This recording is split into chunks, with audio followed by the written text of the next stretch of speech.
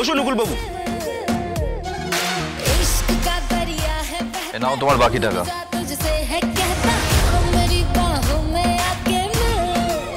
পুরোটা আছে তো? পুরো আছে।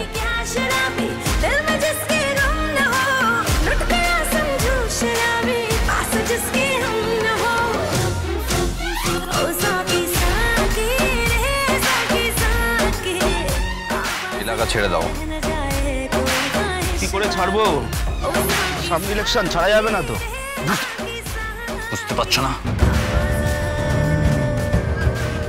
ওরা পড়লে সব গন্ডগোল হয়ে যাবে। কে ধরবে আমাকে? কেউ ধরার নেই। কোনো মাইকা লাল নেই এই এরিয়ায় বিধানকে ধরবে। লাস্ট ফেলে দেবো লাস্ট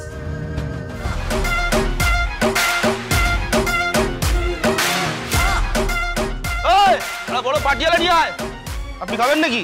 এখন আবার ডিনার টাইম এসব নেচা টেচা করি না। ওই উকিল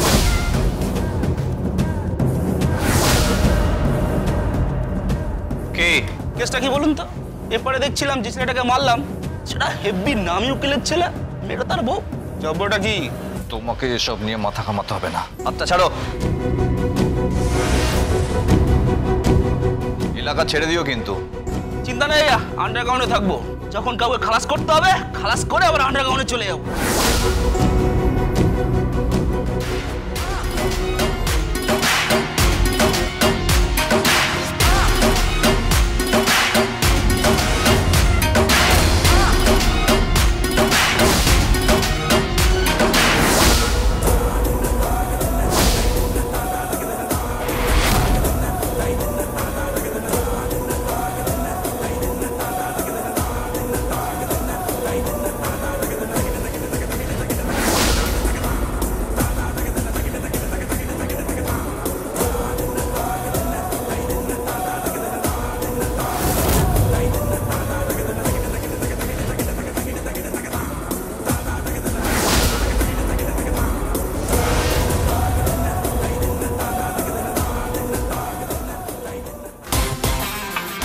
তন্দুরি নিয়ে আয় জলদি।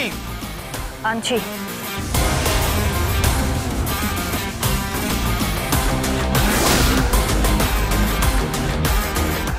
হ্যালো বড়বাবু আপনি ফোর্স পাঠান। কোথায়? কেন? যে স্বস্তিক বাবুকে মেরেছে যে আমাকে মারতে এসেছিল সে বিধান এলাকার ত্রাস। আপনি এই নাইট ক্লাবে তাড়াতাড়ি ফোর্স পাঠান ততক্ষণ আমি এদেরটা সামলাচ্ছি। Hello hello hello. ডালি স্যার যেতে হবে কোথায় নাইট ক্লাব কুইক চলো আপনি advocate Gita L L B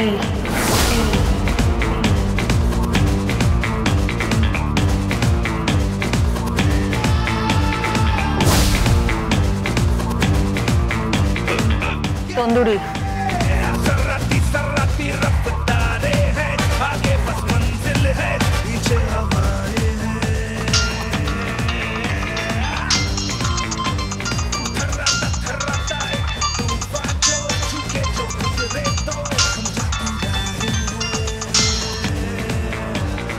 hello দাদা তুই কোথায়? কেন? আরে বল না তুই কোথায়? আরে কেন? নিত্যদার সাথে তোর দেখা হয়েছে? কেন? নিতুদাকে তো তুলে নিয়ে গেছে ওকে তো খুঁজে পাওয়া যাচ্ছে না। আরে নিত্যদা তো ফোন করল। ফোন করল মানে? কোত্থেকে? হ্যাঁ ও তো বলল ও নাকি বড় জোর জানে বেঁচে গেছে। ও তো তোর কাছেই গেছে। আমার কাছে? কই না তো? ও তো বলল তোর কাছেই যাবে। না আমার কাছে আসেনি। আচ্ছা ও জানে আমি এখানে আছি। হ্যাঁ মা তো বলল। তার মানে?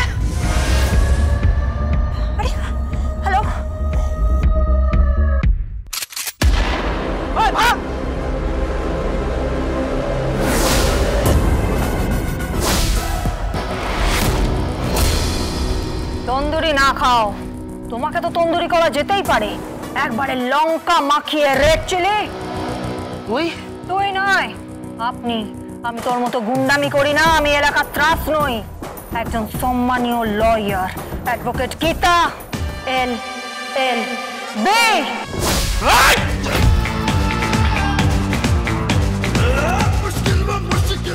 কোর্টের ভেতর আমার মুখ চলে আর কোর্টের বাইরে হাত।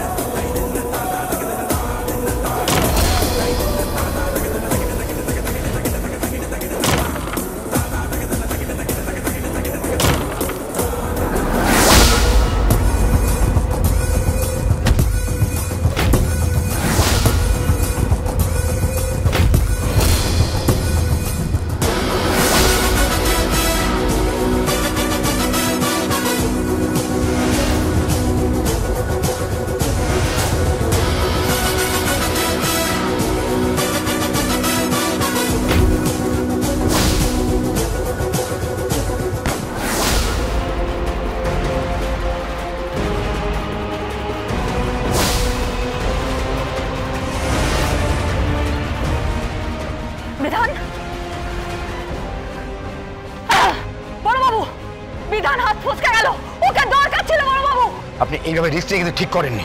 কোনো উপায় নেই বড়বাবু। বদনামটা আমার হয়েছে। বদনামটা আমার ভাসুর ঠাকুরের হয়েছে। বদনামটা আমার স্বামীর হবে বদনামটা আমার পরিবারের হবে। আপনি বুঝতে পারছেন না বড়বাবু? I want Bidhan at any cost I want Bidhan!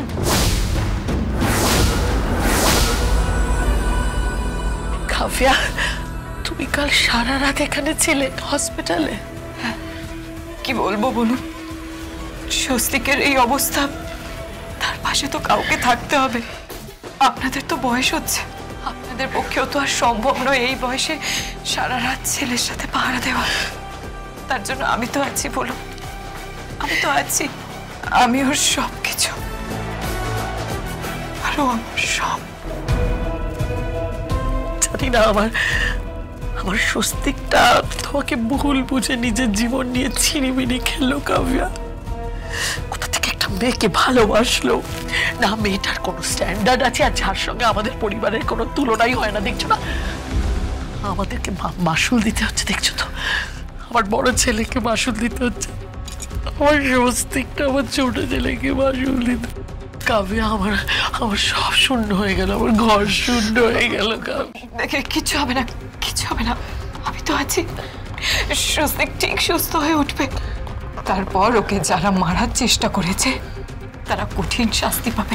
হ্যাঁ আমি আপনাকে বলছি, তারা কঠিন শাস্তি পাবে। আপনি একদম ভাববেন না। আর শুধু আমি নই, আমার পুরো পরিবার আপনাদের সঙ্গে আছে। বাহ, চমৎকার। তোমার এই রূপটা তো আগে কখনো দেখিনি?